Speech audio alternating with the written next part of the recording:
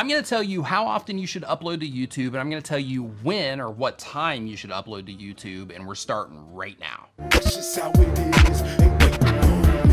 What is going on? My name is Nick. Welcome to another video. If this is your first time here and you want to learn how to grow your channel, make videos, and all types of other YouTube related stuff, start now by subscribing and clicking the bell so you don't miss anything. Okay, so I get this question a lot. I want to talk to you about how often you should upload, and I want to talk to you about the best time to upload your videos to YouTube. So before we get into that, into the details of it, there's some things that I would like you to consider. One, do you currently have the ability, and you can get this information inside of your audience audience retention reports, but do you currently have the ability to keep people watching your videos for an extended amount of time? The reason that this is important is because if you cannot keep people watching your videos, you can upload five times a day and it is not going to help you. So it's extremely important that you make sure that before you start uploading all of the time, before you start uploading daily content or even multiple times per week, it's important to make sure that you have the ability to keep people watching. You go into your YouTube analytics and you go into your audience retention reports, then that that is going to tell you everything that you need to know. If your percentages are extremely low and the actual watch time that you're accumulating is extremely low, that means that currently at this point in time, you don't have the ability to keep people watching. So what you need to do is you need to spend all of your time studying your videos, studying your analytics, and learning the process of how do I make people keep watching my videos for an extended period of time. A few things that you want to keep an eye out for is you want to keep for mass drop-off points. So basically, if you're in your audience retention reports and you see places where people are dropping dropping off in mass, that means there's something that's happening there. Maybe you have music too loud. Maybe you have music that's not loud enough when you went into a B-roll sequence. Maybe you're talking too much. Maybe you're not talking enough. But what you're gonna notice over the course of a bunch of different videos is you're gonna notice patterns that keep popping up. Then, of course, you wanna take those patterns and you wanna say, okay, well, if this keeps happening in all of my videos, every time I drop my intro in my video, then I get a massive drop in audience retention, then what that tells you is that, okay, maybe I need to change my intro. Maybe I need to remove my intro completely. Maybe every time you say a particular phrase or a particular thing that you always go into in terms of, let's say that you trail off on ideas, if that's making you lose viewers, that means it's time to change it before you start uploading a lot of videos. Because again, if you're putting up tons of videos and they're not working on your behalf in terms of keeping people watching, then the platform is not going to promote you, which means that you're putting in all that effort for nothing. Number two, do you currently have the ability to generate clicks from your titles and your thumbnails? If the answer to that is yes, then you're okay to move on to the next section of this video. If the answer is no, then you need to spend some time learning how to generate those clicks. Because again, if people aren't clicking on your thumbnails, they're not clicking on your titles, then what's gonna happen is every time your videos start getting served around the platform, YouTube is quickly gonna demote those videos because people are not responding to them. And if people are responding to them because you know how to generate those clicks, then YouTube is more likely to promote your video on the platform, which means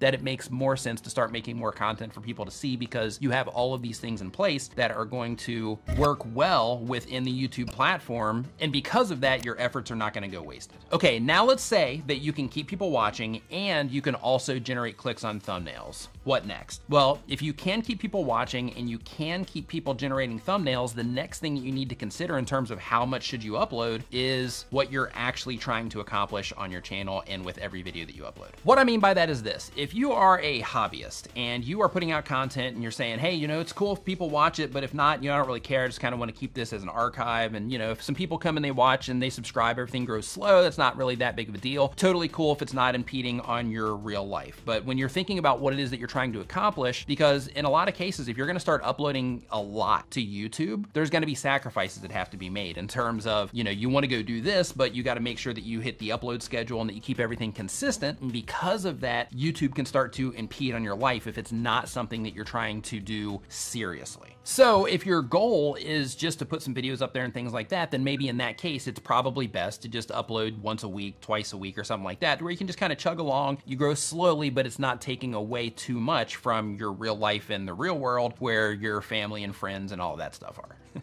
However, if you are wanting to do YouTube seriously, you're wanting to generate income from YouTube, or you're wanting to build an audience of some kind or become an influencer and you're and you know how to keep people watching, you know how to generate clicks. In that case, upload as much as possible. But what you want to do is you want to keep in mind that, you know, there are probably going to be other assets that you want to create around your channel. I actually just recently made a video about that. I'll put a link to it at the top of the channel, but there are most likely other assets that you're going to be creating around your channel that are also going to require time as everything swells up. So because of that, that, make sure that at the very least you leave time so that you can manage those other things as well. If that is you, think of it this way. Every single video that you upload is a potential opportunity for you in terms of helping you get one step closer to achieving your goal. So every single video that you have time to upload means that with every single upload, you're getting closer and closer and closer to what it is that you're trying to accomplish. And because of that, as long as you can keep the quality good enough and as long as you can keep your mind together and as long as you can keep a nice balance together, then uploading as much as possible can really bring you the most benefit as long as you can keep people watching and you can keep people clicking on your thumbnails. The idea is to keep everything at an acceptable level. So you want to give as much as you can to your viewers, but at the same time, you also want to make sure that, you know, what's going on in your brain and what's going on in your life is not being uh, messed with because of how much you're requiring yourself to upload to YouTube. And here's the thing,